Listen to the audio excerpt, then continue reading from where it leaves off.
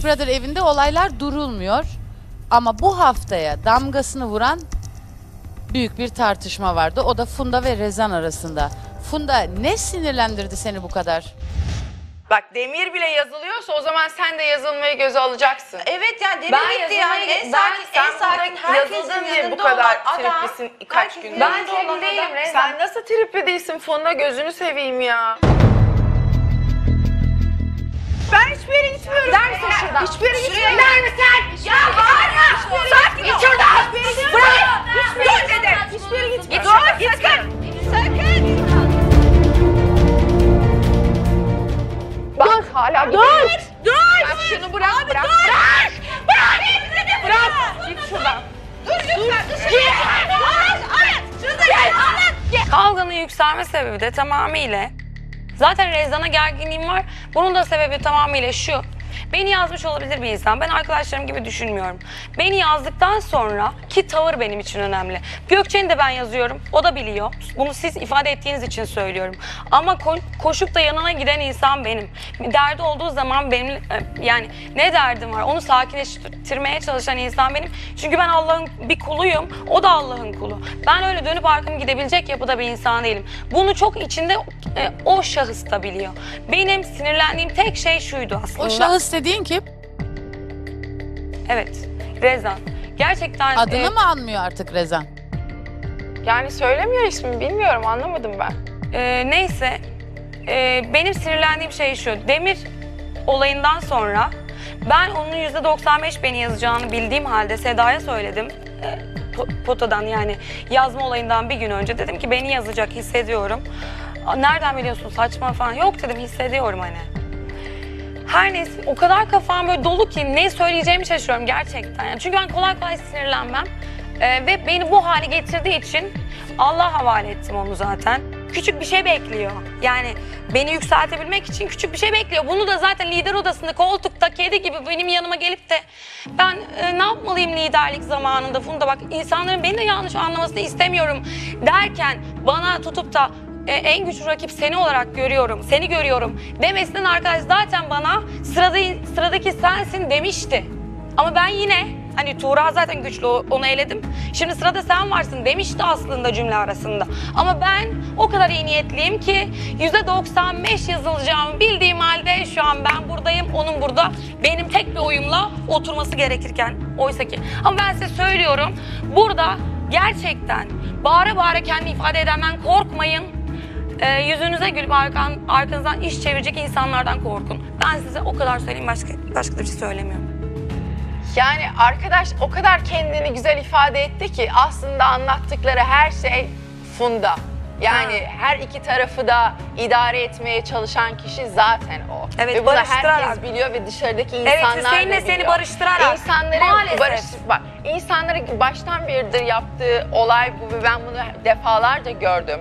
Defalarca birisine gidip hatta kendi kız arkadaş grubunda zaten olayların patlak verme nedenlerinden bir tanesi de bu. O ona gidiyor, o iyisin, sen haklısın, sen bravo diyor. Ondan sonra öbürüne gidiyor, sen haklısın, sen bravo diyor. Yani O yüzden o şekilde yüzleştirmeye hep arada- çalıştım devamlı. Şimdi ben konuş- konuşuyorum O yüzden müsaade yok konuşabilirsiniz dedi. O Ee, yüzden ben yüzleştirmeye şu an çalıştım.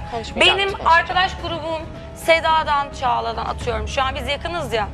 Ben ne zaman ortalığı karıştırmaya çalışmışım yoksa ben hep yapıcı mı olmaya çalışmışım?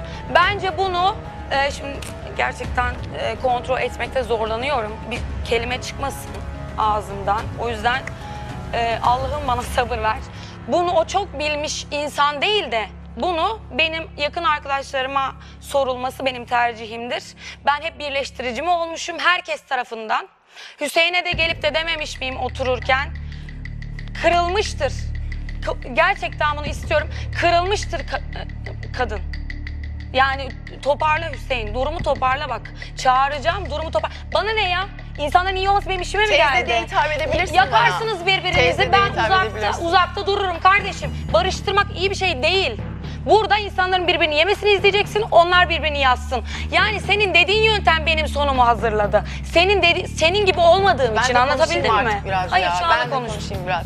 Şimdi onun olayı şuydu. Ben dediğim gibi kendisini Sen niye ifade etti teyze zaten. diyebilirsin dedin Reza?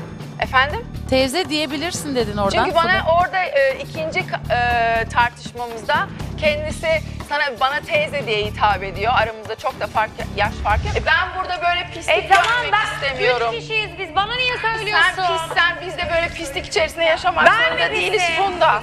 Bak benim canımı sıkıyor. Benle konuşma anlamıyor musun ya? Ay Sen anlatamıyorum konuşmaya ya. devam ettiğin sürece ben de seninle Susar konuşacağım. mısın teyzeciğim? Artık. Ay çok komiksin ya. Allah Allah romatizma ağrılarım Sen vardı. Otur zaten bir köşede Öyle sen.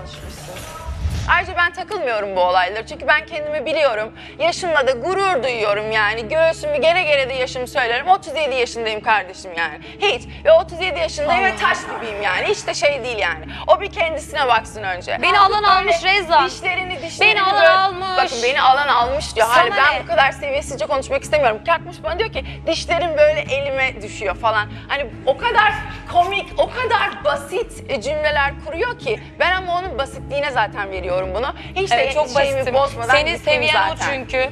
Lütfen. Senin seviyende baktım senin seviyen e, gerçekten e, şey yapamıyorum artık. Tamamıyla o level'ı indirdim yere tamam Senin mı? level'ın Bak bir şey zaten söyleyeceğim oradaydı. sana. Sen burada kendini Bak bir şey göstermeye söyleyeceğim çalışıyorsun. sana. Sen Gerçekten zaten çok net buradasın söylüyorum. Fundacığım, Bak sana çok net Sen söylüyorum. diyorsun Benim ki kız içindeki arkadaşlarımla iyiliği hiç alakalı bir şeyler bozmayın. söyledi ya Sen ben oradayım şu an. zaten içindeki Yok iyiliği ben bozdun bozsaydım hayatım. şu an Çoktan burada içindeki sen iyiliği. vardın işte akıllı. Çağlacığım, Buna bir uyanamıyorsun. saniye. Bak sen bak Sen yine şu an aynısın 3 bak, tane bak, oyla sen bak. şu an Görüyor buradaydın. musun, görüyor Eğer musun? senin gibi fesat olsaydım 3 Allah'ım oyla yarabbim sen ya. buradaydın şu an. Allah'ım yarabbim. İçim senin gibi olsaydı. Anladın mı aramızdaki farkı? Funda sence Rezan nasıl bir taktikle ilerliyor evde? Diyorum ya işte Tuğra'yı rakip gördük ki Ben koca, mi koca yaptım? kadın 37 Tuğra'yı yaşında yazan ben miyim? tutabilirdi kolundan gö- götürebilirdi. Bir kavga uğruna o kız gitti bu evden. Neden kavga kavga ettiler. oldu?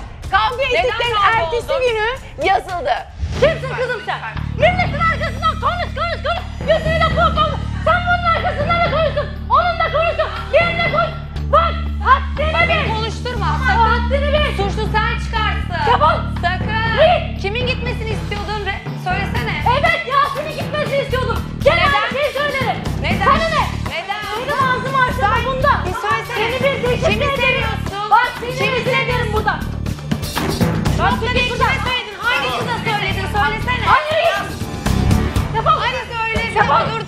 Kaç defa söyledim Turas saçmalama diye. Oturduğun yerden Ben- yayıla yayıla Sen nereden? bana. Ay bir sakin ol bu sen ya. Vallahi patlayacak Evet. bu kadın. Yemin ediyorum Seni patlayacak birazdan. ben. Kafasındaki Az şey kaldı. patlayacak Biraz yani. seviyenize dikkat etsenize ikiniz Neyi de. patlayacak?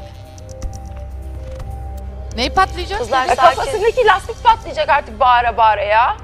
Bu kadar Yok, da bağıra la- bağıra bu lastik kadar da kendini kaybederek Seni konuşulmaz patlatacağım yani. ben. Burada iki, iki konuşamayacak mıyız? Konuşamıyorum seninle. Benimle konuşma ya. Bitti.